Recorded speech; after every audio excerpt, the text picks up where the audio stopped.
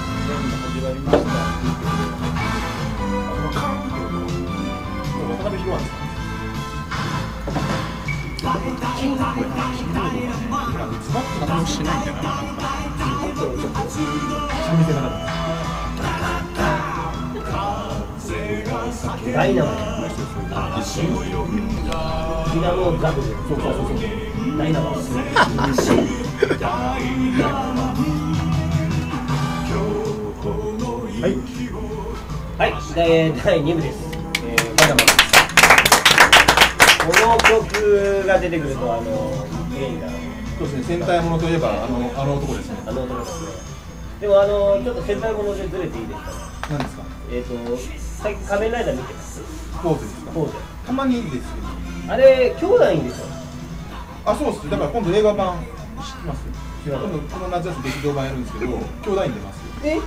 そうなの？はい、スカイゼルとグランゼル。あそうなの？劇場版でなんかどっかの星から来た最初なんかまあ敵か味方がわからないやつので兄弟が兄弟なんです。俺ら味方だって分かってるけど今の子供たちは味方が敵か分かんないからあそう。てか今日から今日から上映です。今日からですか？あそうなんだ、はい。お前横から来てるんだ まあいいや話そう。じゃあ、えー、お呼びしましょあ、もういいですか？バイオマンが来バイオマンになってます。あれミケレンジャーです。はい、すみません。こんにちは。どうもこれ前はいミーキレンジャー。ミーキレンジャー。ミーキレンジャーコールされるって楽しい。楽しい。ちょっと嬉しい。な。こうい。うことなんだからあのー、みんな初めてねホンダロックを応援した時の話をすると、はい初めてその考慮されたわけよ。あ選手が。選手が天皇杯の宮崎県の、えー代表で出た時にそのコールされた時にものすごくこう高揚感があったっていうふうにうん。やっぱり言っていて、はい。やっぱね人って注目されるとうん頑張るから、うですよね。やっぱりね注目するっていうことにおいてやっぱりこう皆さんこう注目してあげるお前のプレーを見てんだぞっていうふうにまあしてあげるっていうことが選手のモチベーションを上げるんじゃないかなっていうふうに思うんですけどね。そういうのはどう思うそうですね。まあまさにそうだと思うんですけど、あのいきなり正論を言われてたので、ただただびっくりしちゃったんですよはい。聞き入っただけでございます。さて、えー今日はミキレイちゃんはどういう話を聞かせてくれるのかな？はい。あの前回のはい。東京周球団の話ははい。非常に私は、はい。あの楽しく聞かさせていただきましたえさすがミキレンジャー、はい。この、えー調べる能力をどうして君は学生時代に発揮し学者にならなかったのかそうですね。困っちゃってるもう学生時代何したんですか？あ学生の時まああの、まあ、福祉とかうん。そういう関係の勉強はしたんですけどもそうですね。真面目な。うん。真面目にし勉強はそっちの方の勉強もちゃんとしたんですけど。でもさあの話全然変わるけど、はいこういう調べたことをはい。勝手に論文として出してもはい。いいサイトがあるのよ、そうなんですか、うん、論文をまとめるサイトがあるの僕いつかそこに「ホンダロック論」っていうのをいうことをしようと思ってるぐらいはい。にそれで自由に論文を出していいところ。い。でそこはちゃんとした大学の論文を見る人たちが見てるのでうん。面白かったら学術会に出すっていうのがあるかはらそういうのを君がこの前やって東京宗教大学やった社会学だから。はい。そうですねこれはねいいと思います。あの出してくださいぜひ。なんかもうあの書いてあるコメントがですね自分が思ってた以上に称賛されたので すいませんっていう感じだったんですよ。だからああのいろんなことを追求すれば、はい。よくあるじゃない小学生が縄跳び100回できる人がはい。こうくるくはいるやったりする人いるじゃんああいうのだから。あ直人ちゃんとやってるからそういうことだと思えば、はい。あの敷居も低いでしょ。そうです。下げられちゃいましたね。次が楽にないぶん低いところいやいや、この人ね、敷居をこうあ上げちゃうと、もうなんかビビっちゃうよ、だから。そこまで行か行かなくちゃいけないのかって思ってくるとだんだんきつくなってくるんで。でもね、そこ高いのがあると、キリンの首が伸びるみたいに、こううん。頑張るからああーなるほど進化ですね俺もほら、ちょっとこうやって、ポコチンがこう伸びるように。ちょっと生理的なことですけどいい女がいると。近づかないでまあそれはいじゃあ今日は。はい今日はあのー前回の東京主義団に続き結構がっつり調べてねおそうですねクラブ何これはあの FC コリアという関東リーグのチームなんですけどもあと、関東一部ですね。関一。関一です。おみやみたい4部リーグ4部リーグですね。意外と名前はみんな聞くんですよ。うん。ただどんなチームなのか触れていいのか触れていけないのかがなんかあと情報が分かんない分からなくて、ね。いまいち名前は聞くけども知らないっていう人も多いと思うので、うん。ちょっと頑張ってはい。いろいろと調べてみました。しかもね歴史がすごいですよ。日本サッカーの歴史を合わせてこうなんか学べる感あそうやってだんだんプレッシャーを。かけてな敷居を上げました。じでやるんですけどその前にですねこのあの最直近のあの他のリーグのドイツの話。話題をちょっとこう触れないとじゃないおうちの人がないんですよなんと一応全社だけ。あ前社の呼びかけしましょうよ。うん。10月。10月12日電車あれございますね10月の12日金曜日。12日金曜日から、はい。えー前車が取り行われますので、今回東京ですよね。東京です。ね。えー、アジスタを中心にはい。アジスタ西とかこの辺でやるのはね会場はどこですっけ？アジサイ小石小石川とかもなんかって小石川？多分いろんなところでやるとは思うんですけ結ども、構はいいろんな箇所でますはい。まあいろいろやるんで,、はい。でそういう人たちを集めて、あのーサミットで前車に出てくる全国のチームチのームのサポーターをで。でいろんなところから今、えー奈良クラブはいはいはい。参戦も。そうそう刈谷とか、はい。はい。カリアも参戦決定しましたね、うん。はい。それからボルガ鹿児島とか。おお、うんそういうのがね来たいとはい言っております、FC 鹿児島は、えー来たいっていう来てよって言ってんだけど来ないあれチームは参加するんですか？嫌ださんあそれ一応これあの関東以外のはい決定してるチームですね、えー東海がはい。トヨタ州球団鈴鹿ランポーレ。えー、中東京京ユニバーシティ、はい。大学。あとカリアですね。デッツオーラ島根ラ島根レノファー山口。アジアの岡山。ネクストネクストあと関西が、えー、と5チームですね。かの有名な、アミティエとア食品。アイン食品バンディオンセ角川レジェンレイジェンド。滋賀。FC 大阪。はい、えー、とそれから今治と九州は？九州まだですね。あこのそうなの？4四リ四地域リーグが決まってるんですかそうですね。ここはもう決まってますね。ああとと関東ですね。関東は関東九州あと東東北。東北、い、はい関東も決まってるんだよ関東決まってますね。はい。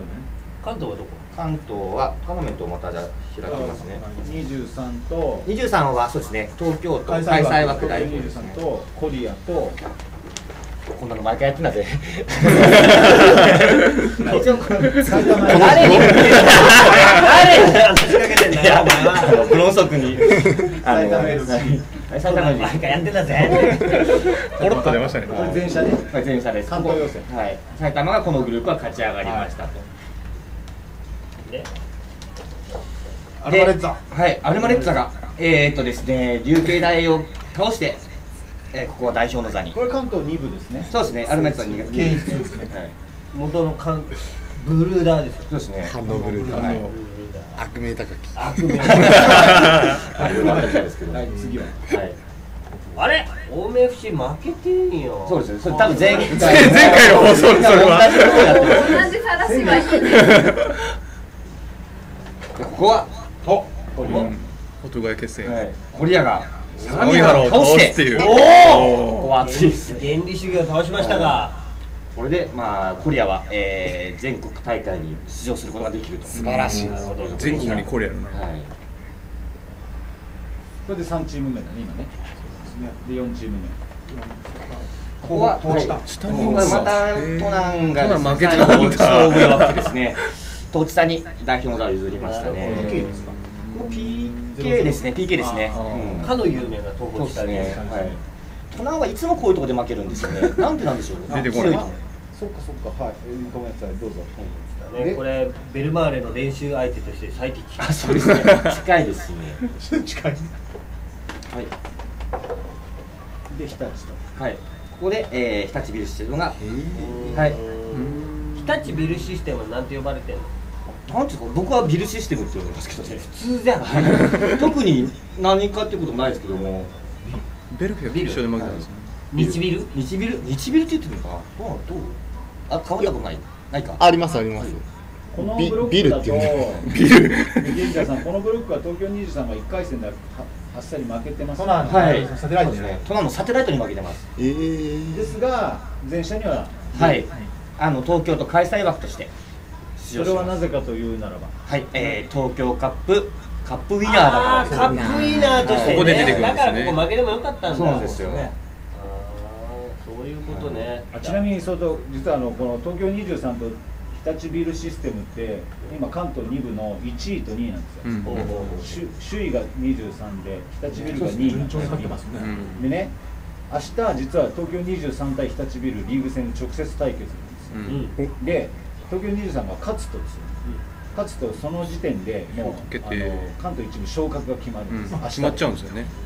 えなんでそうなっちゃうの？もう勝ち点差が開いてるからあー。3位と。あもうそこまで決まったんですそうなんだ。2位か。2位以内か。2位以内が確定するんで。そこまでもういっちゃったんですね。つい最近まで 仲良しだと思ってた人。たちがみんな絶望の 淵 に。東京23はあのまあほぼ関東2部は今年で上がっちゃう。一部に昇格するだろうで今年は東京カップを取ったと。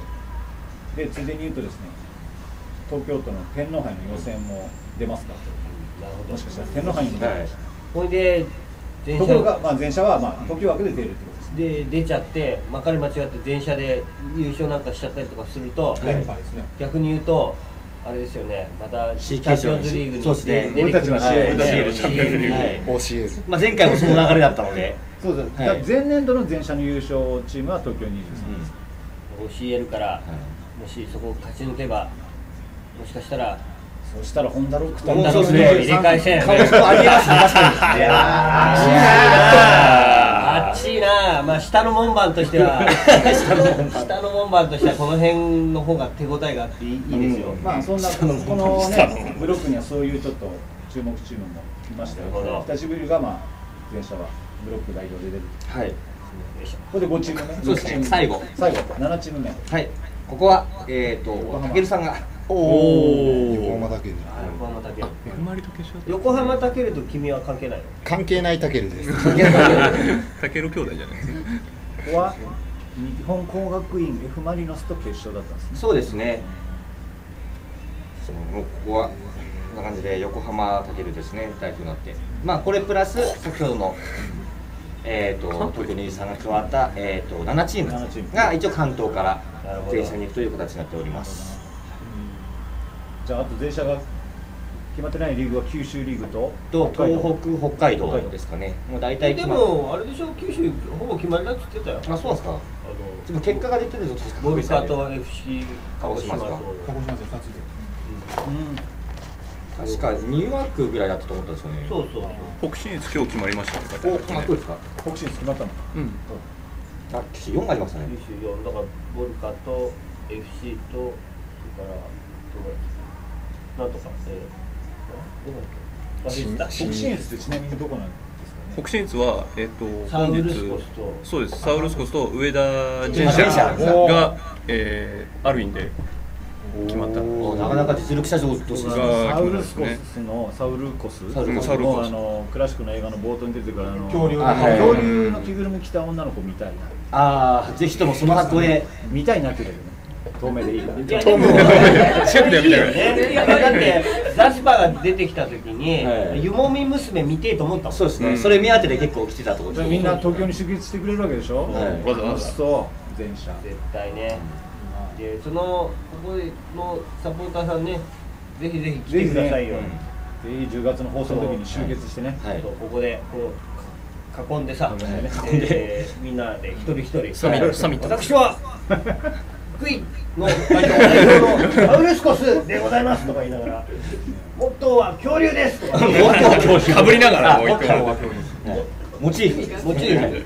なんかそういうのをやって、はいそうですね。なんかわ多分これから来るチームって個性も様々だと思うので、でもさやっぱりそうやって考えるとやっぱ12日の夜だよな。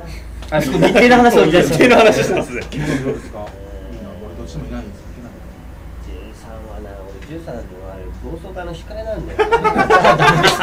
すげえ。私のあれですね。やっぱそうすると12日の夜だったら負けてくるやつも負けてくるやつも。負け負けてるやつも。残ってるから。そうですね。一番人材が豊富な時期ですね。人材が豊富だから、はい。どれが一番の変態かを見極められるそうですね。あとあの10月のその集まりの時は別に電車に出ないチームのサポーターの人でもいいでしょ、うん。全然いいよ。電車に出たかったけど。負けちゃった負けちゃったチーム。負けちゃったチーム。のあありがとうあございます。る意味そのいろんなね全国のそうそうマイノリティたちを集めて、はい。交流をね、そうそう社員旅行ぐらいやめようかな。社員旅行だったんですか？その時見たらなじゃあ別に城北はよく来てるからよ、ん。まああとうちの他のやつが狐の123そうそうどれかですよね右つねでメギツあメギツネは酒抜きで。はい。こんな感じのじゃあそんな感じです、はい。まあ、いよいよ続々と決まり始めてますそうですね。いやでもこんなにね楽しみな電車は。ですね。東京でやるとちょうどね。そうですね。いい東京でやるやるとやっぱいいですねねもう仕事休みたい本当に。休んじゃえば。休もうかなと正直思ってます。夏休みをそこで使おうかなとじゃなかったんだ陸上競技場と隣の俺もそこで有給使っちゃおうかな。後ろくはいいんですか？しみじみとなんかしみじみとし始めてきました。フジロックは使えないですよね。すごいですけどフジロックね。僕まだ確定なんですフジロック見に行くかもしれないじゃ。あ代わりにやっといて。いややらなきゃ。やっといて。かぶかぶっといて。って。ことですかぶらないですよ頭があのね。これごまめごまえの枝豆うめえんだよこれ。枝豆食いすぎですよいやめちゃめちゃ美味しかった。です美味しいんだよ。であとはあのー トリーグが明日大井第二で4試合なんと。一部が一部祭りが。一分祭り。朝何時からですか9時から。9時から。朝9時から夕方5時ぐらいね。自分の試合大井第二。はい。はいあの横に線がそうです。横に線がオフサイドラインが分かりやすい。オフサイドラインが分かりやすい。はい相当お気に入りのそうです。日はその青梅さんがジョコ世田谷さん FC ジョコセタガヤと。あの注目の第二試合。ジョジョコ世田谷といえばあのイラストこのイラストイラストを描いてくれたカオルさん。美人イラストレーターが描いてくれた。マネージャーさんが。すごい綺麗な方でした。綺麗になっちゃった。お会いしました。そのジョコさんと青梅さん。大梅さんはい点の取り合いが予想される打ち合いが予想されますはい。まあまあ。えっと。イスラム過激イスラム過激からねえっと一アルイスラムアルジャアルジャジーラからなんかじゃあ青梅さんアピールしたことある？明日の試合に向けて。明日1時10分からキックオフです。えっ、とコール吹く予定だったんですけど、ちょっとコールリーダーが吹くなって言ったんですけど、知れないですが頑張って応援するんで皆様も来ていただければと思います。よろしくお願いします。いやどっちにもどっちにも勝ってほしい。ちなみにその青梅さんはもうあのトリーグ今1位。独一走中ですから上がるのは間違いないです残り4試合ぐらいなんでね。もうぼちぼちもうか感謝感謝っていうそのでさっきの関東社会人大会の出場を決定するかどうかぐらいがもう決まるんで。頑張ってほしいですね。頑張って今年こそは。この辺とか置き去りだよ。まあまあ。まあ別にうちを待ってもらう徐々に行きます。いいね。そのゆゆとりがいいよね。ゆとり。ゆとりゆとり教育だ。いやゆとり。ゆとりとちょっと違います別に名取だ昔スポンサーでした名取教育だ明日その大井で早稲田ユナイテッドの試合があったりしあります結構あっちねトリーグ見るには本当トリーグ好きの方はぜひとも行きます行きます行きますぜひともえっ、と大井の、えー、第二第二第二第二はいえっ、と大井南インターを降りてすぐすぐですねあ車で行かれた車で行く公共交通機関の方はあのモノレールの大池馬場大井前。競馬場前。競馬場まだトゥインクルやってるからね。あそうですね。あまあ巻き込まれないよう。にトゥインクルううちに行ってもいいよね。ツインクル知ってる？あのあのいやいや馬券を買うことを打つ打つって言うんですよ。こう何締め切り前の時にはキラキラ光がなるんだへー。てんてんてんてんてんてんキラキラ星ですかてんてんてんてんてんてん締め切りが早くなるあの近くなるから早くなるてんてんてんてんてんてんてんてんてんてんてんてん早く買わなきゃってなるてんてんてんてんてんてんてんてんおー。てんてん煽るんですねてんてんてんとかでただいま締め切りましそうそうそうそう。でもあの中央からスターバができてる時は、あのいつまでたってもやめないの。あの馬券をずっと売りたいから、ずーっと間乗りしてるからね あれ5分も過ぎてるじゃないかよ。早く早く早く出せみたいなね。一応一通り終わってから切るみたいなそうそうそうまあそんなことはどうでもいいですが。そんな大井競馬あ場こんな大井競馬場ですごいの発見してる何ですか？ものすごいハゲ面のおっさんがいて。ハゲ面のおっさんが。競馬競馬場な 競馬場で。俺がこうやって競馬新聞読んでたの、はい。でパッて見たらここに明らかにこうなんつうの振りかけてるようなああありますズね。ラの人がいて。振りかけてる。そうそうもうなんかありますよね。あのなんかねそうゴムの上にこう黒いのを引いたようなフットサル上のゴムチップみたいな。汗かくと流れてきそうそうそうズラでしょっていう人がいて俺馬よりもそっちが面白くて安心したもんねまあどどうなっていいいい。はい。それで、えー、大木馬場にはい。小田競馬場前にはい。はい競馬場行っちゃダメです。よ競技場に、えーはい。あのトトリーグを見に来てください。よろしくお願い。します。はい。よろしくお願い。しますあとあの最後のこれが情報ですが8月15日にですねはい。天皇杯の東京都予お盆選お盆にね。西ヶ丘ですね。8月15日の水曜日。やばいです味よが味の素フィールド西ヶ丘。西ヶ丘。味フィ西が味どっちかどっちか間違えないようにみん味なヶ丘です。味味が丘赤羽になるやつですね。そこでさらっと押し。準決勝2試合。準決勝2試合。東京都予選で。社会人枠で勝ち上がってきたチームとと学生枠で勝ち上がってきたチームの準決勝です。ね2試合今年も行きますよ。23と。東京23対専修大学。専修大学。はい。去年のチャンピオンですね関東の。去年町田がねそうですね。苦戦し。かろうじて勝った。天皇杯予選横その前に横川武蔵の6-0で。あそうそうそう破ってゼルビアと PK 戦まで去年の選手大学すごかった強かった今ですよ。年その中心選手何人か抜けましたけどでもやっぱ強かったですね。今大学リーグでどれぐらいの選手？今また1 1位になったのかな。調子上げてきてもでそことと東京23ですよ。東京23とどこがや選選手選手大学それが1試合ともう1試合。が横川武蔵横川武蔵野対ベルディ東京ベルディユースです。これも熱いだから見応えがある。決勝はベルディユースと先週だな。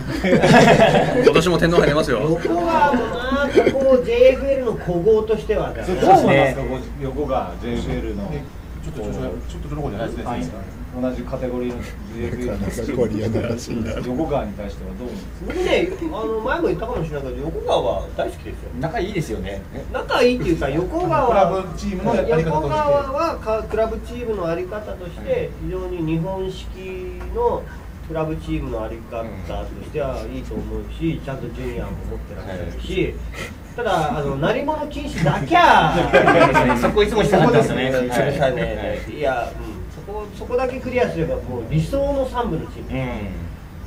誰にも迷惑かけてない感じがそうそうそう。もうちょっとそこにあ横浜武蔵野っていいなっていう人が武蔵野市民にもうちょっと気づいてほしいですよね、うんこうまあほらあそこ閑静な住宅街じゃないはい。市役所が近くて。そうそうそう。でプールもあって柔道場もあってですね、はい。総合クラブの匂いをプンプンさせるわけですよ、そこにあー俺たちのクラブチームはそこそこ強くてそこそこ弱くてなんかいいなみたいなやつらが1500人は集まってほしいな。いい試合やってても。ね。1000人ちょっと行くといいですよね。確かに。雰囲気もありますしね。そうそうそうそう。あのやっぱあのあそこはねあの形をもうちょっと広めていきたいなっていうふうに思いますけど、鳴り物禁止だけはダメ。うん。もうこれ持ち込んじゃえよ。まあそんな横川武蔵野と、まあ、東京ベルディユースです8月15日。ベルディユースはなんか生きのいいのがいるのピッチピッチしたやつ。あの今年も。高木高木の高木高木高木豊さんいるじゃないですか。野球選手だったの。3人息子がいるんです。よで長男は今エスパルスに。うちなんか一男は今オランダオランダリーグ。で三男三男坊の高木大輔君っていうのが今ベルディユース。えー、三太郎で両三人全員サッカーだったんだ高木豊の息子として野球やれよスーパーカートリオだかやらせたらあんまりやったですね。あ野一番一番上のお兄ちゃんは初め野球はやってたらしい。彼はやったらあんまり良くなかったん向いてなかった。向いてなかった。でサッカー。だったら、うんよかっただからその3人ともみんなベルディユースなんですけど、まあ、トップ昇格した後にまあエスパルスに移籍したりオランダに移籍しちゃってるっていう意味でもともといやー。3人ともずっと子供の頃。ベルディユースのその三男坊は、はい。次はホンダロックだな。ホンダロックホンダロックですか？なんか結構夢とか希望とかあって昇格すると思うん安定安定志向。安定志向。就職もして。就職もして。それで。言っとくから本当ですあかの酔っ払いの教科部長に。高木豊の息子に「おおいいじゃねえか」とか言いながら「おおそいつ入れよう入れよう」ってなる。多分結構争奪戦になると思いますけどその展開だったら。そう？じゃあ安定性で安定性で。ちなみにあの息子さんの代理人はお父さんじゃないかっていうのがあってお父さん口説いた方が早いかもし豊か？を昔見てました。わかりやすい。わかりやすい昔見てましたよとか言って。日ハム時代も多いですよねそうスーパーカートリオでしたよね。屋敷さんと二人で。トリオじゃなくてダブル屋敷と？えーっと高橋正正やるよ。あとよかったよ。加藤博和。そうですね加藤博和ですと長いですね。知らないの？わかんないです。僕らの時も。まあお名前は知ってますけどもそこまで。博和がいなかっで4番パチョレック。で前がいいですポンセが5番でしたね。5番ポンセでし5ょ番ポンセ。ポンセカットバセポンセ。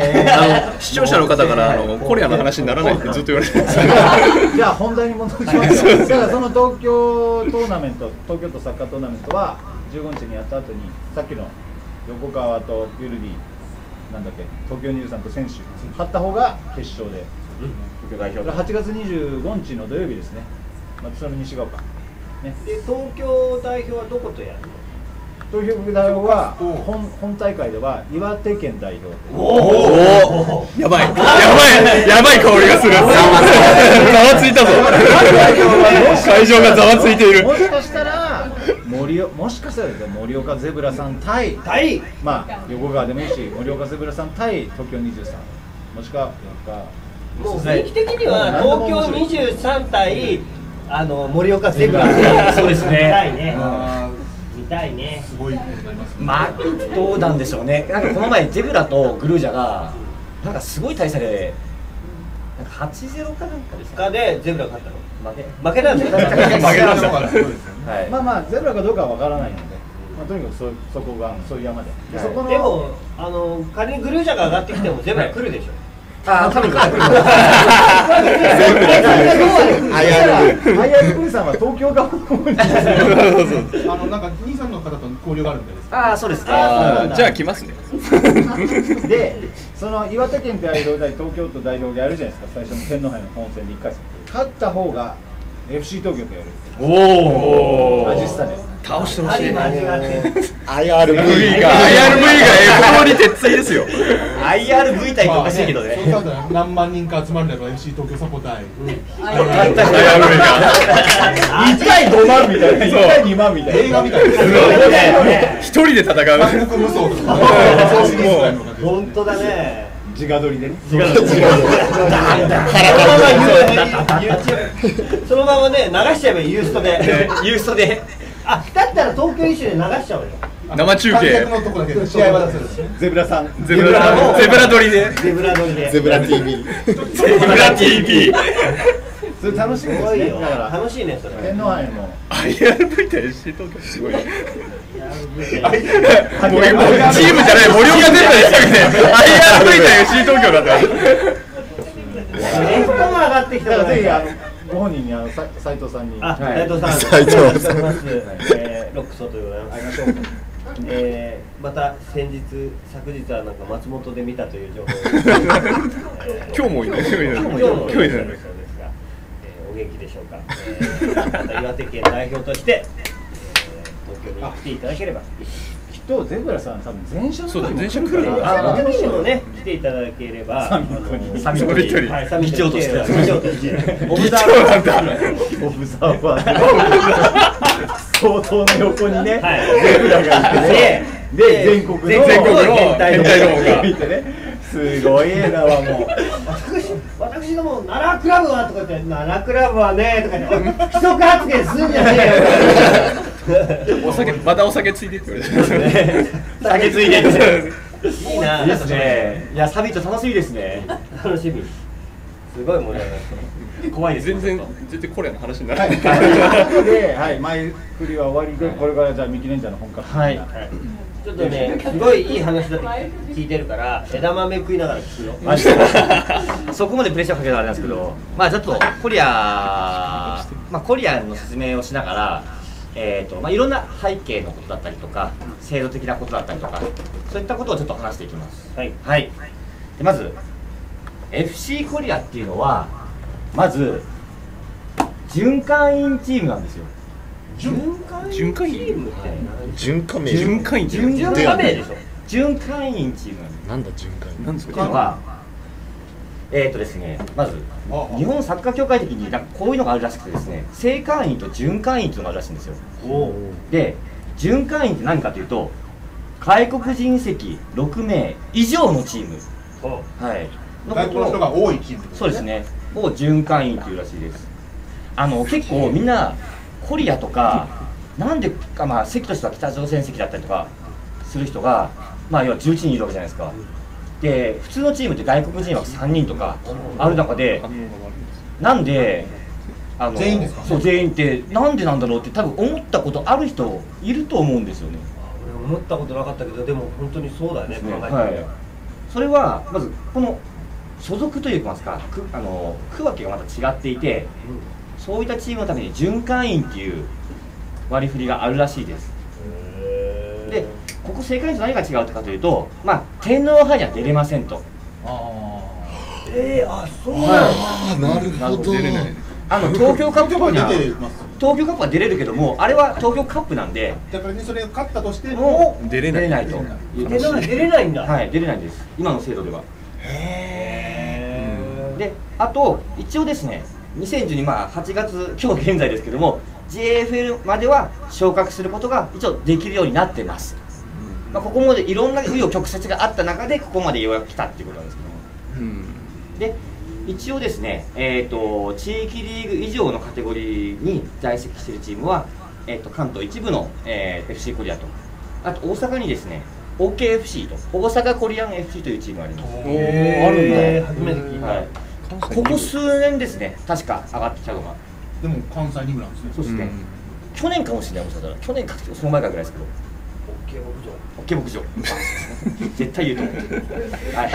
まあこの2チームですね。はい。なってます。多分今日巡回員っていうチームちょっとまああのここの表記がなかなか調べようと思ったんですけどなくてですね文献とか結構調べたんですけど。えじゃあ結局循環チームってこことここしかないわけよ。一応地域リーグ以上はですねもしかしたら県リーグとかにはいるかもしれないです。なるほど、はい。そうですね。大使館のチームとかあるかもしれないそうですね。あだから全員ブラジル人のチームが日本にあってもいいっていう意味そうです。そうなんです全員ブラジル人のチームはここに入ります。ーでも JFL までしか行かないし天皇杯には出れないと。はい。いうでも JFL まで行っていいってことがすごいよね、はい。ここまで来るのにもまあいろいろあったんですけどもそれはまた後ほど。はい。はい。歴史をね、はい。後でねであとあのちょっとまあ在日の選手の話をするときにどうしても出てきてしまう話があってちょこれまあ J リーグとかにもよく出てくる話なんですけども在日枠ってよく聞いたことはありませんか、どうですか外。各官女があ在日ではい。外国人枠にはならないっては聞いたことはあるけど。そうですね。そういうこと？はい、一応ですね、この在日枠っていうのが、日本で生まれて、えー日本の学校で義務教育中、または義務教育を、えー修了したもの、もしくは日本の高校、大学を卒業したものは、えー日本国籍を有さなくとも外国人とは見なさない、ただしその適用は加盟チームにつき1人と限定するというところがあります。例えばジェフにうんうん外国人選手が、えーまあ、ブラジル人が3人いました。3人いた。ここに、えー、とそこにキム・ウィマンという、まあ、在日コリアンの選手がいたんですけども、えー外国人枠としてはもう3枠埋まってるんですけども、キム・ウィマンウィマンは在日枠として、えー一応出れるような形だったんです。あこれはまああの日本で生活して、まあ、文化とかですね、うん。それとも、まあ、日本と同じような生活しているので、まあ、一応1枠そういった選手には与えるというのがあります。これいつから決まってこれ結構前から実はあったらしいです。あの J リーグができた時からあったらしいです。一応。そうなんだ。あの最初はあの宮沢ミシェルさんうんうんがあのこの枠の適用者だったらしいです。え第一号。第1号は。フランス人なんだけども日本で教育を受けていて、うん。えーとまあ、外国人と見なさないという。あ藤藤田の時ですね。宮沢ミシェルさんがそういった時にあのこの枠が適用になって今はその在日の選手が主に適用になっているらしいですけども一応外国人選手だとして。在日っていうのは別に在日朝鮮とか在日ブラジル人だったりとかイラン人とどかの国でもうん在日何々っていそうですね。はい、一枠。はい、じゃあダルビッシュはここに入る。わあれは日本人国籍。国籍がダルビッシュは多分日本人国籍なんですよ、けなるほど。はい、間がありましたね。ダルビッシュがもしイラン人国籍だったらこの枠に入ると思います。はははということです。なるほどね、はい。ああ分かった分かった。はいはいはい。ちなみに今の段階だと,、えー、と朝鮮高校とか朝鮮大学だとここの日本の高校っていうふうに当てはまらないんですよ。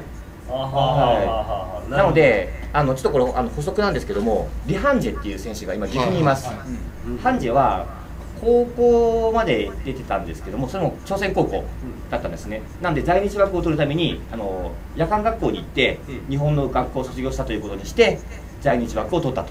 なるほど。なかなかこの在日枠って有利なようで結構大変だったりとかするらしいです。結構真面目な感じで聞いやいいんですよ、うん。はい。はい。はい、でちなみにちょっとまあここは数字上なことです、まあ、在日コリアンの方ってどのくらいいるかというと、まあ、日本の人口の、えー60万人ぐらいらしいです、まあ、0.5%ぐらい、60万人。はい、宮崎県民の半分。半分、まあ、そう考えると多いかもしれないですけどね、うん。はい、あとサッカー部ですね高校サッカーでちょっと調べてたんですけども、まあ、11校ぐらいあるらしいです、えっと朝鮮高校サッカー部というのは、はい、なんか名古屋にあったり大阪東京そうですね結構全国にあるらしいです。でまあ300人ぐらいいるらしいです。東京だけでも何個か朝鮮高校あるんでえーと1個じゃなかったでしたっけ？十条の。だけ？あけど小平のってあれは大学かそうですね。うん朝鮮大学生多分東京は1個だったと思います。一個。はい一応背景的にはこんな感じですね。じゃあこの在日枠を適用したりとか、まあ、在日コリアンと言われてる J リーガーがどんだけいるかと。ちょっとあの調べきれなかったところもあります正直なところが。一応ですね25名ぐらいいます、ざっとですけども。最初にあのシン・チェボンという選手が。ジェフにいましたね。全部見ました、えー、と93年から95年十何試合ぐらいしか出れなかったですけども、まああのリトバルスキーとかですね。オルデネビッチとかと一緒に試合をやってました。あとは張喜司さんとか。今湘南の監督ですかね。はい。はい、一緒の監督？はい、今監督やってます、はい。あとキム・ジョンソンさんですね。岩田とか札幌とかで活躍してました。これキム・ジョンソン。はいそうですね。結構この辺りの方はベン・ジョンソンとベン・ジョンソンはどこですか？アメリカの普通のランナーですよね今。どこだっけカナダカナダですベンってどう書くんだっけと思って漢字探しちゃいました。ねですね。これまあ競ってるところなんですけども大体30人ぐらいですね多分今。J でリーグプロになった選手っていうんですね。そうですね。プロになった選手です。まあパク・カンジョとかアン・ヨンハとかうんイ・ハンジェ。テセとかヤンヨンギセヤン・ヨンギはすごいよね。ここのの辺り人のはプレーは本当にすごい。顔がほらちょっとスター性がない顔してるじゃないまああの普通な感じですよね。スター性がないからうん親親しみやすいえ親しみやすい。親しみやすいから、そう庶民的な感じしてる顔がなんか香港映画に出てきそうな感じ。ちょい焼きみたいな感じですかうんね、で今一番成功してるのはもしかしたらニャンヨンギかもしれないですね、うんチームで10番つけてエースで、ん。ずっと04年からいますからね。ずっと仙台がこの人がいるのといないので全然違うチームになっちゃうもんね。はい。なんでこの1枠をですねうまく活用してまあプレーする選手たちですね。結構長いですね。の人たちは日本で生まれてるそうです。みんな日本で生まれてます大体年齢的にはもう3世ですよ。そうです。3世ですね世代的には。アイオン派もあのコリアンも喋れるけど日本語の方が目ついた。そうですね、うん。なんか調整ですもんな、はい、4波はあの1回この間に、えー、と K リーグに行ってるんですけどもなんかやっぱり向こうの言葉とか、うん。ちょっと微妙にイントネーションは違ったらしくて、うん。あのあアイオンハプサンで会いましたさああ僕とですか ACL で僕プサンに行った時あーはい。にプサンのクラブそうですね。でアイオンハとばったりだった。日本から来たんですかって日本語で聞かれて。そうです。ね。その時イカン人がいて今町田に来たイカン人が。イカン人とアンハがえアイオン派の額がははっはっはっアイオンはちょっと和田っ子的な感じですよね死因死因が K が止まるからですねあえそうなのあまあいいだからまあ20年ぐらい J リーグスタートして、はい。もう25人から30人ぐらい。はい。そうですね。もうね。大体やっぱアイオン波が出てきた世代ぐらいからガッと多くなってきましたね。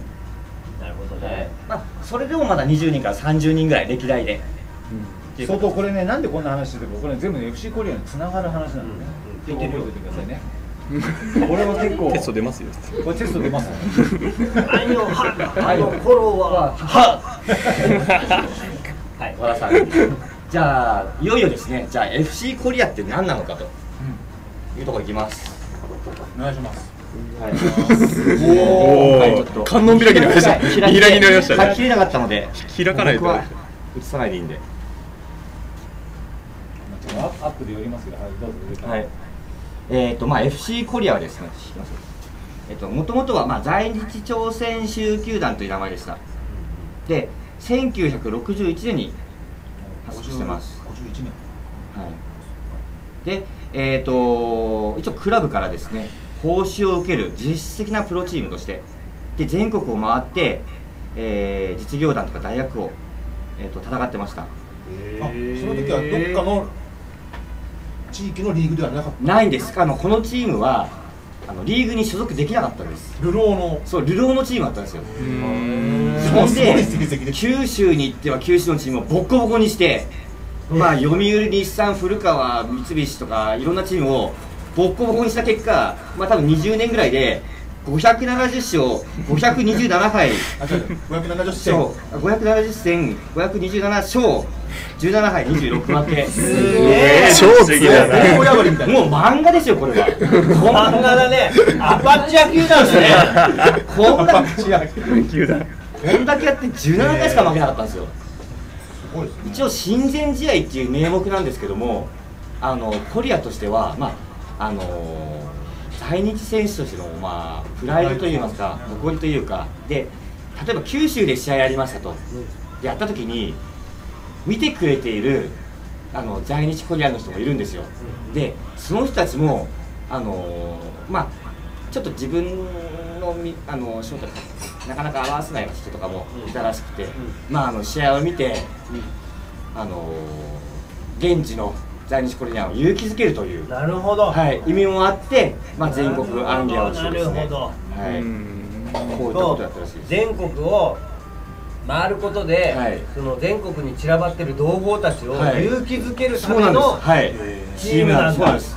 だからただのサッカーチームじゃないんですよ。もうちょっとですね、ここにこう補足的に言いますとですね、そのまあ在日って、まあ、2世、3世って今言いますけど、要はちょっと虐げられてる実社会で、であんまりこう、なんですか、鬱憤というか、日本人にいつもこうなんか差別されてると、それをこの在日中球団、コリアはね、サッカーでは負けないと日本人にその勇気をこうピッチ上で戦ってくれてる姿をこう見るのがその在日コリアの人たちの喜びっていうかそれで誇り民族の誇りをそこでこう失わずに済んだみたいな、はい。なるほど。昔力道山がブラッシュと戦ってた時にあのまあまあそうですね。アメリカには負けねえぞっていうシャープ兄弟とかシャープ兄弟とかそういう話ね。そういうことですね。年代的に1961年です。えっ、と1966年に北朝鮮はあのワールドカップイングランド大会でベスト8に入ってるんですよ。イタリアに勝ったの。はいイタリアそうです。イタリアに勝ったりとか。で1964年に、えー、と東京オリンピックはい。があったんですけども実は北朝鮮サッカー代表はそのオリンピックに出場する予定だったんですけども、まあ、開幕式直前でちょっと、あのー参加を取りやめたんですね。そうですね。まあそうなんです。はい。そこで、えーとまあ、せっかく来たのに帰るのもなんだからと,、えー、と北朝鮮代表とここのチームが在日東京あ在日朝鮮宗教団が戦って、えーとまあ、日本でこんだけの数字を残してるチームなんですけども、北朝鮮代表にボッコボコにされたらしいんですよ。だやっぱり当時の北朝鮮代表は相当強かったらしいですね。そうだよね、ワールドカップでベスト8になったこの時期にバワールドカップのベスト8になって、2000なんだっけ2年の日韓の時までそこがアジアの最高位だったそうですね、そうですね、はい。うーん、まあ、もう飛び抜けてたね。そうなんですであのそこぐらいから交流が始まって要は、えー、と言ってみれば東のサッカーですね。を東東西のね。東西東西の。東西冷戦のね、はい、東のサッカーを、えー、と北朝鮮から、まあ、取り入れて、まあ、どんどんどんどんまた強くなっていったということがあります、まあ、本当に民族のチームですね。ほど。でで、えーとまあ、J リーグが発足しましたですね。ちょっといい、はい。お前さここに乗っけて話したら楽なんじゃない？すいません。でちょっと俺も見なかった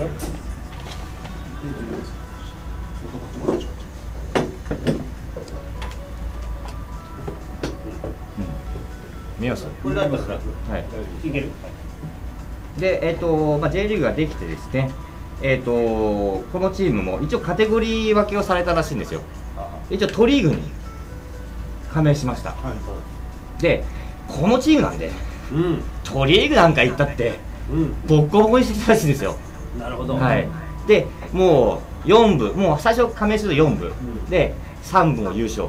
2部も優勝。1部も優勝。もうトントントントンとまあいろんなチームがねまあ苦戦されてると思いますけども。あの はい。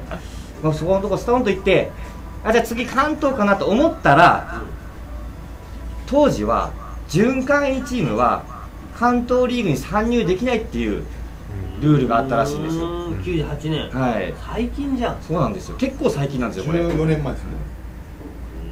さっきあの正会員と準会員のねあれね。そうですね。6人以上がどうだったって話ね、もうそのルールはもう東京と中でのルールとして生きてたらしくてもう関東リーグには入れませんと。関東リーグには正会員しかしか行けませんとはいもうモチベーションガタ落ちですね。うん。でその頃ってもう J リーグが発足あ発足していて、うん。まあ、さっきのページに戻りますけども。はい。この辺りの選手たちが上の人たちがもうはい、もう J リーグに行ってるんですよ。はい、在あの在日朝鮮宗教団じゃなくて、うん。もうこっちで活動してるとトップトップの選手は、そうすると在日朝鮮宗教団の、えーとまあ、あり方とかもうまあだんだん問われてきてるところだったんですね。どうんうん。まあ個人の選手はまあこうトップレベルの方で活動活躍できていて。でまあちょっとですね。在日朝鮮宗教団の方はちょっとまあ少し熱が落ちてきたのがこの辺りだったんですけれどもめくります。でまあ99年にですね。また自分勝ってた。まあ3位になったんですけどもそれまではまあ、まあ、ほぼプロとして活動した選手がまあ解雇されました。で、まあ、学生中心にして活動になったらしいです。まあ実質的に、まあ、グレードダウンして、まあ、アマチュアとして、まあ、細々やっていくのかなとまあ実質解散に近いような形になってきたんですけども01年にまた動きます。JFA の理事会にて準会員チームの全国大会参加が承認されました。これがまあ一つの大きなムーブメントなんですけども。これだから JFL まで OK だっていう。ああそっか日韓大会のそうですね。多分そういったこともあると思いますし、共催がありましたもんね、はい。ここからでいろんな政治的な動きがありましたね、だよねあとはまあもともとあの在日コリアンとして活動していた J リーガーたちの活動あの活躍なんかもあったと思います。まあそういったこともあってえー、巡回チームも全国大会の方に出場できるという形になりましそうなるともうがぜんコリアもモチベーションが上がります。で改めて02年に、えー FC コリアとして、まあ、再出発する形でいます。まさに2002年。そうです。まさに2002年ですね。記念すべき、えーワールドカップの年に、はい、そうしたらもうトントン拍子ですよ。もうあっという間に関東は東京一部なんかあっさり優勝しちゃって、関東2部行っちゃって。でもう2部もあっさりまあ2位通過ですけども一部に昇格してもうあっさり全社も出場してしまうというこの駆け上がりはですね。もう1回団結してしまえば。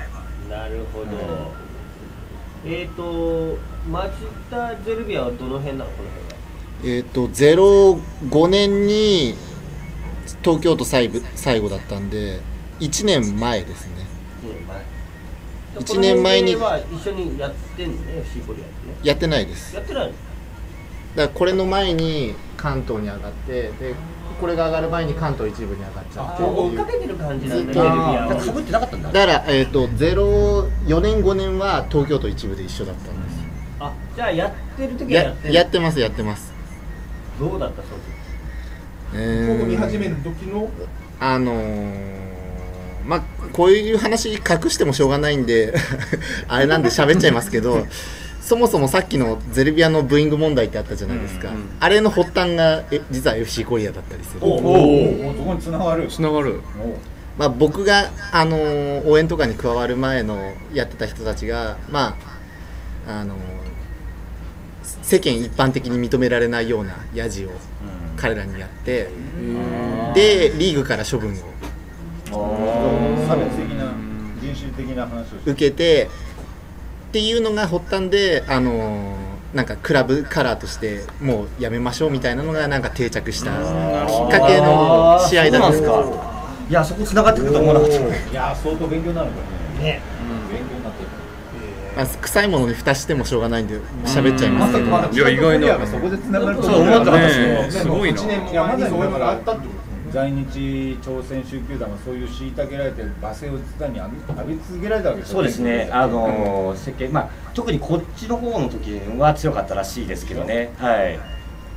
まあ、どこに、まあ、あのいろんなところに行って、まあ、言われたりとかもあったらしいですし、はい。でここではい。で優勝。はい、もう着々と全国の方に、まあ、向かってますね。でまあえー、と今、関東の一部なんで、まあ、ちょっと今シーズンはちょっと低迷しているところはあります。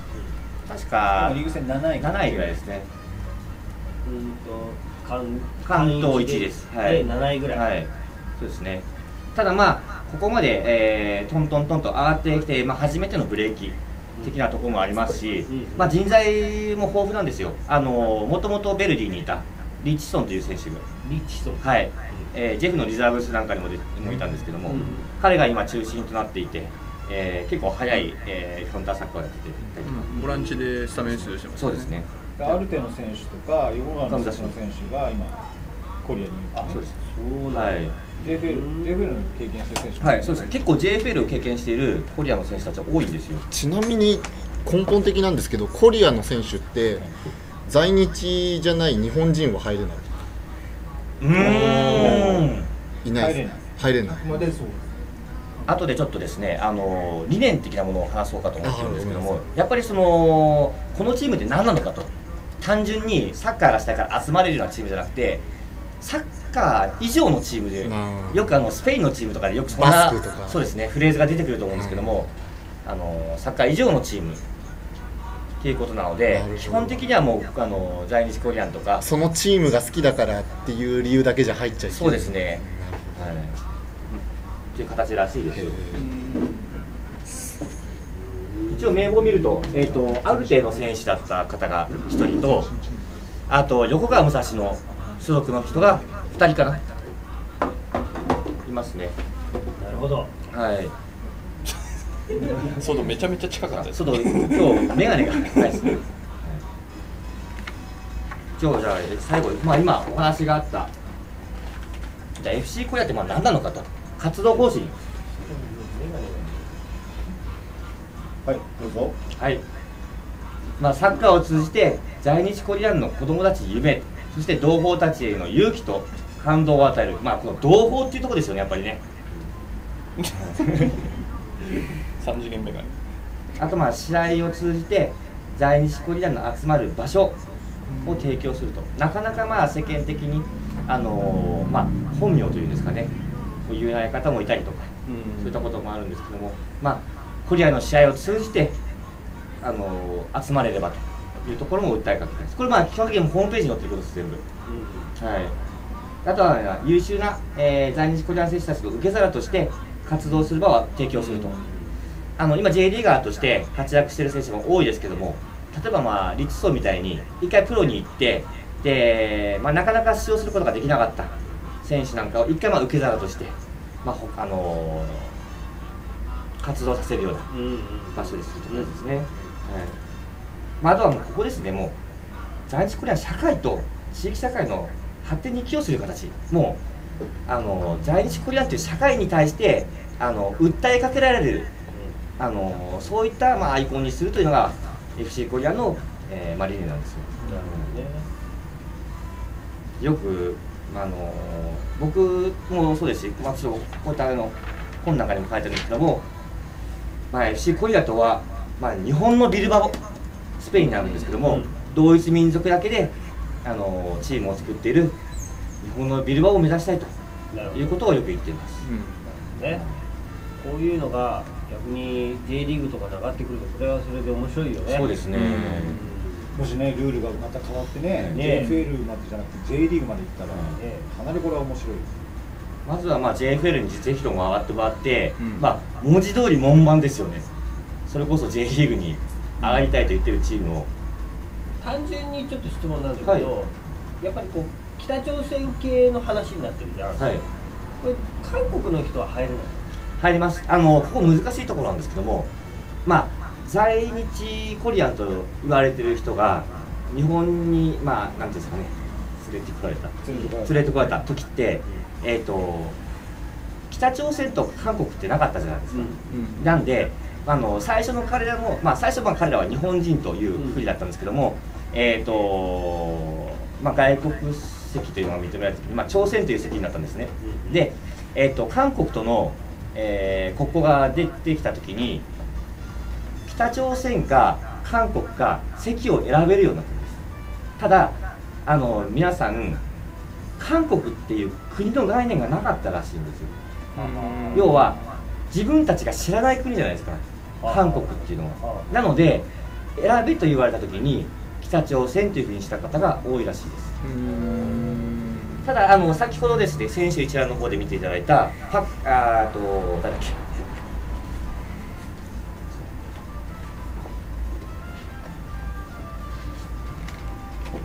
パク・カンジョ。まあ感じね。はい。この中で実はパク・カンジョだけかな多分。は韓国韓国籍です。そうだよね。この人一回 K リーグ行ったもんね、はい。彼女だけ多分この中だと韓国籍にしてます。まあそれは言ってみればあのー韓国代表としてオリンピックに出たいということがあったらしいです、あそうだそうだ、はい、あの国籍の話になって結構難しい僕らがちょっと分からなか分からない感覚なんですけども、えー、とヨンハもテセもちょっとまあ文献の中に載載ってた言葉であったんですけども日本にいながらまあ外国人扱いをされると、まあ、選挙権のことだったりいろいろなんですけども。でじゃあ北朝鮮代表に行ったらどうなのかというと、まあ、日本に住んでる人たちという感じらしいんですね、なんでじゃあ自分たちって何人だろうっていうのをよく考えるらしいんですけども、自分たちはその在日っていう国の人間なんだっていう考えが多いらしいですね、それはね吉崎も言ってた。あそうやって言ってたでだからチョンテスはだから、あの北朝鮮代表の時にはい。一人だけ大泣きしてた、はいはいはい。は いあの辺は、、はい。やもう俺らには分かんないんだろうけど、自分たちになんかこうあるものはあるんだろうなっていうふうにはやっぱり2006年ブラジル戦でしょ？あそうですね、はい。国家正常そうですね。ねすごいね。ねポロッポロ泣いてたよね号泣してたもんね。先生大丈夫かっていうぐらいそうね。あの辺はやっぱりこう僕らには分かんないものあるよな、そうですね。本当にその国というまあなんですかねえっ、と存在を超越したあの存在が、まあ、在日っていうまあ言葉らしくてまあそれを表現するのがあのサッカーでいうと FC コリアという存在にしていきたいということをまあよく思ってますね、なかなか結構歴史的なところもあってですねなかなか面白いんですけどもちょっとその中であすいませんえっ、とメンバーに入るのは果たしてでもそれは大丈夫ああ例えばチュンソンとかってことですよね、うんうん。あさっき、うん、質問ありましたね。忠成はどうなんだったんだろうもしかしたら大丈夫かもしれないですね。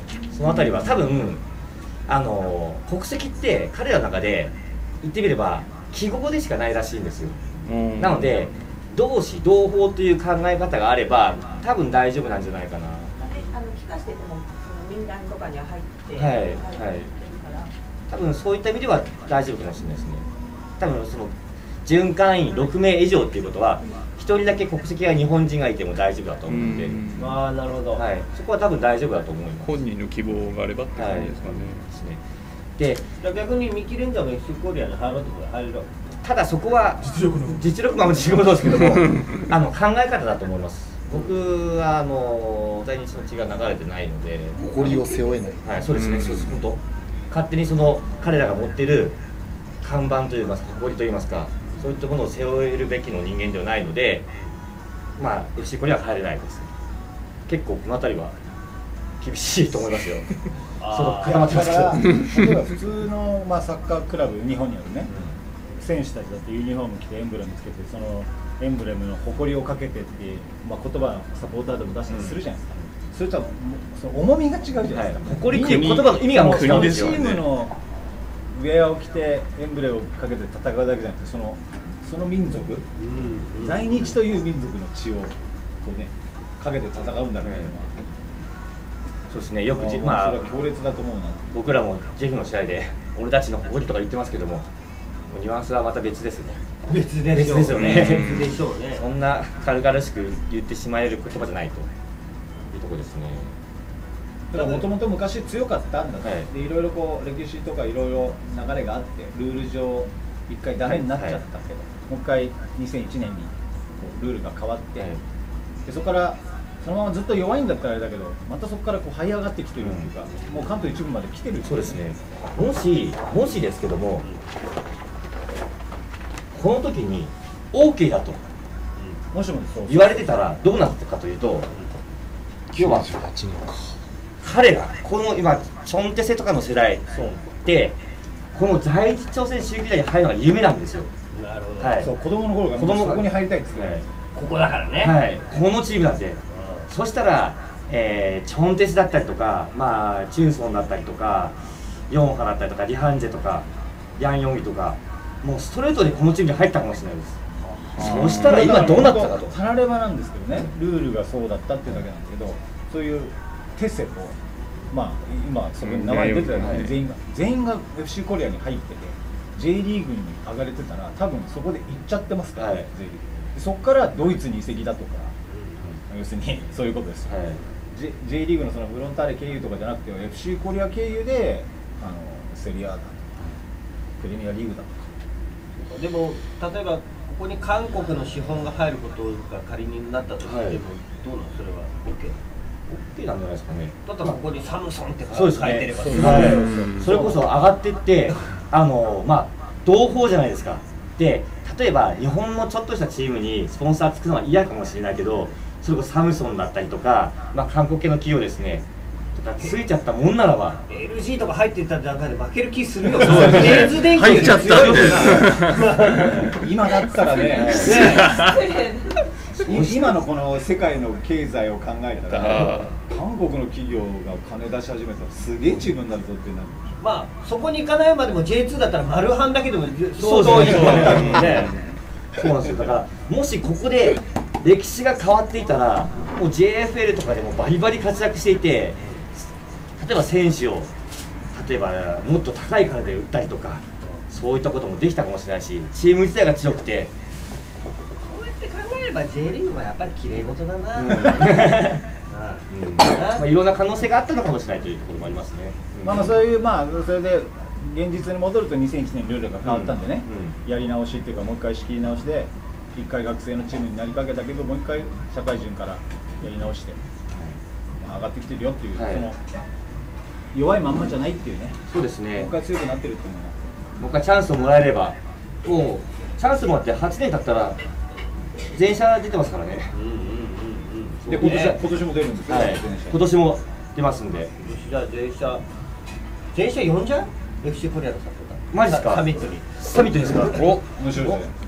コリアのサポーターを僕は実は見たことがないんですよ何回かコリアの試合見に行ったことがあるんですけども、サポーターっぽい人いないですね。そうですね。関係者っぽい人がはいいですそうだからまあもしかしたらその本当の友達。うん。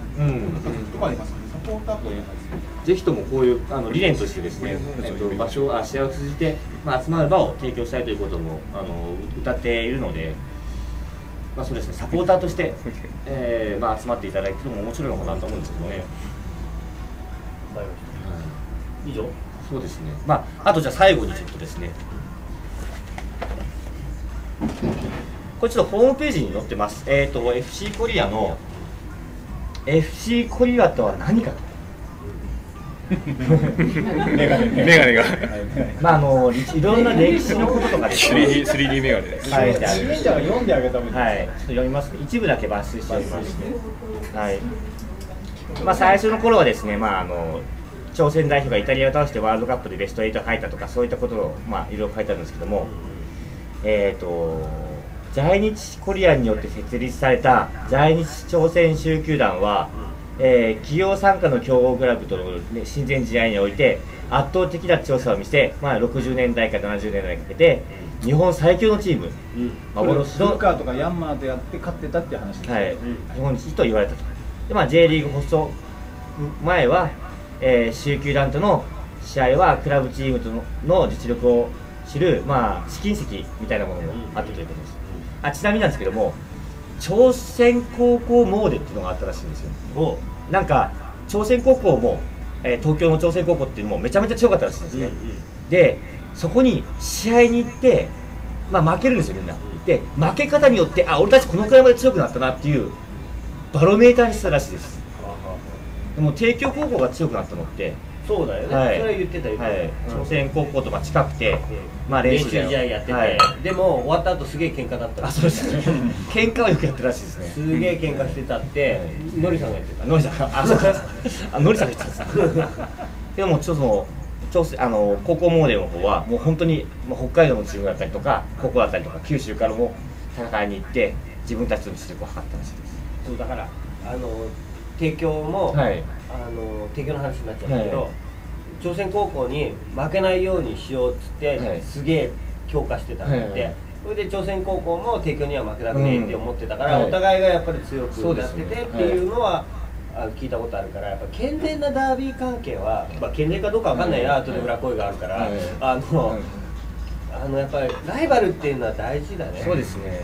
うん。やっぱりその朝鮮高校の選手たちもやっぱり日本の高校には負けたくないとあのここがだんだん続いていくんですけどもえー、とですね世界に衝撃を与え敗戦は死を意味し最強を目指す。すごい敗戦は死だはい。ジークジオンの匂いがするね彼らの動機、えーそれぞれの心の内に、えー巨来したものは何何か。おそらくコリアにとってサッカーはゴールネットを揺らすことで終わるゲームではなかったのだろう少なくとも在日コリアにとってはサッカーはピッチで繰り広げられる華麗なプレーに還元され尽くされたこともえー優秀なプレイヤーとして、えー出身出世を果たす足がかりでもなかったと。地べたに這いつくばり日々をしのぎひしひしがれるように、えー生きざるを得なかった人が多数を占めていた、えー在日コリアにおけるサッカーとは日本で生きる上での存在の証に他ならなかった。己の自己を実力で、えー確保していくこと。在日コリアンの、えー強さを示すこと。ナショナリズムという掟の概念で表すことはできないナショナリズムなんていうことはあんそんなそんなぬるい言葉で表せないできないと、はいナショナリズムで表せなかったらどうそれどこ何で表すんですか何で表すからね本人たちにしかもうわからないわからなねいそうものがあるっていう連邦には負けられないぜっていうレベルじゃないないですねスえーペースノイドとはとかいう話だねそれがそれが分かんないです分かんない俺も分かんない言っててえーとごめんなさい。最後にえーと筋骨の爆せざるような生々しさがサッカーには託されていたと。もうそういったもういろんな感情とかいろいろあるけどもそういったものを表現できるのはもうサッカーだと。いう歴史が歴史と、えーまあ、社会背景とかあった中で活動しているのが FC コリアだというところです。これを読んでると、まあ、いろんなこと思うんですけどやっぱり。いやでもえっとガラガラバーで一回北朝鮮戦見てた時がはいはいはいはいあってはい。でロスタイムかなんかで1-0で勝ったかなんかがあったじゃないですか。ああはい。アジア戦はい。あの時のさもう打ちひしがれよはい。北朝鮮の人がっくりと。あれはあの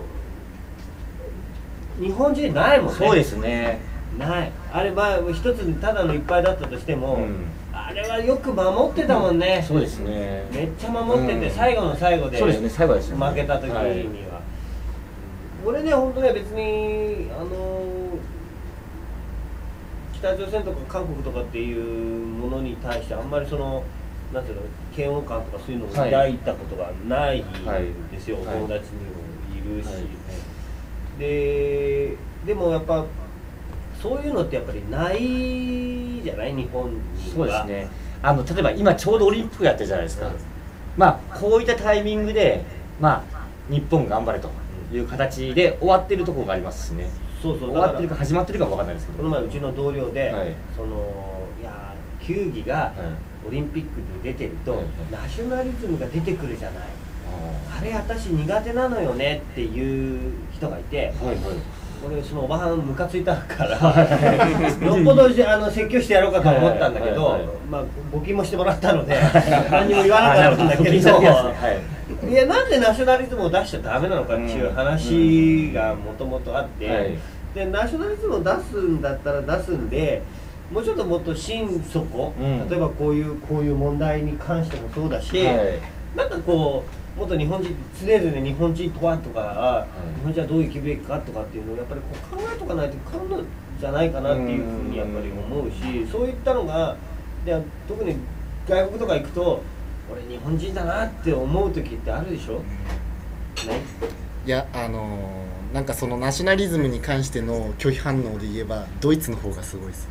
うん。ドイツ人はドイツ人っていうナシドイツナショナリズムに対する拒否反応は日本の比じゃない。ですもうあの第二次大戦の反省っていうのがあってなんかそれをなナショナリストイコールもうネオナチうんぐらいな感じで。へすごいですね。まあ僕が言ってる国はああんまりドイツとかばっかなんで。敗戦国だからかな、俺たちは、ーそれもあるかもしれ大きいないですね。と思いますけどうんねいうとこ出しちゃまずいとかってやっぱ思ってる雰囲気あるもんなどっかな、そうですね。なんかまあとは言ってもあのサッカーになればあのサッカーは許される的なところはあると思うスポーツだからスポーツだから、ねうん。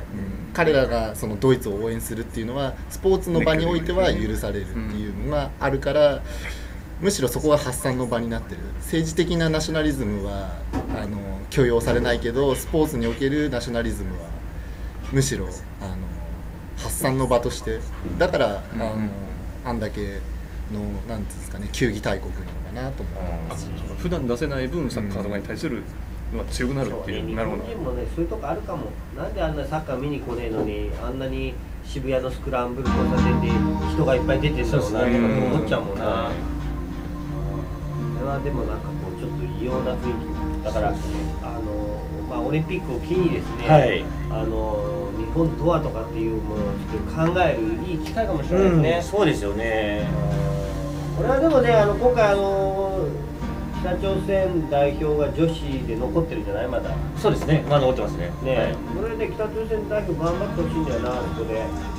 なんかあのなでしこジャパンと決勝でやると決か勝とかで当たったりとかしたら、そうですね。シーナーとかそうですもね。アジアの女子のサッカーのレベルも上がるしね、そういうのちょっと結構期待してるんですよね。今日はでもあの FC コリアの話はすごい面白かった。でいつになく真面目に。すごいですね。大丈夫でした？こっち。うん。かなり聞き入って楽しかったですよ意外なその町田とのつながりとかもあったりしてその町田のなんか話も。じゃあさやっぱ町田はさブーイング禁止にしよう。決定ですかね。ここまでうん論じたのあのそういう過去があるから禁止にしますって言い切って、お前らその過去知らないだろっていう話で、あの昔あの朝鮮中級団に汚い味を浴びせたことが我々の反省の、あの原点ですってしたらまあ何も言えないでしょそうそれでだから我々はマッスルゲームにします。って言える出てました話にしてゼットンってこうやだゼコーナーキックよはいー